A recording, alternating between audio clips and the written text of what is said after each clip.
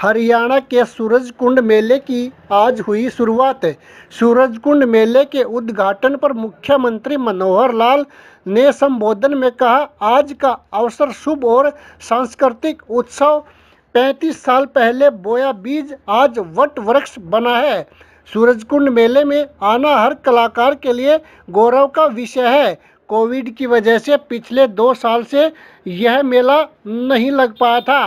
दुनिया के कलाकारों के लिए ये मेला सूरज के समान है। हस्तशिल्प वास्तव में एक कला, हाथ से शिल्प तैयार करने से पहले कलाकार मस्तिष्क में तैयार करता है कि कलाकृति कैसी होगी।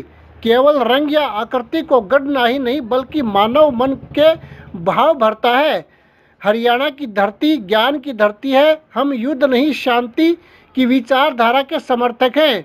इस बार का थीम स्टेट जम्मू और कश्मीर, जिसकी संस्कृति का दर्शन यहाँ होगा। इस थीम में उज्बेकिस्तान का हमें नृत्य देखने को मिलेगा। वहाँ की संस्कृति आज हमने देखी। उज्बेकिस्तान और हरियाणा के बीच एच टू एच का रिश्ता है, यानी heart to heart.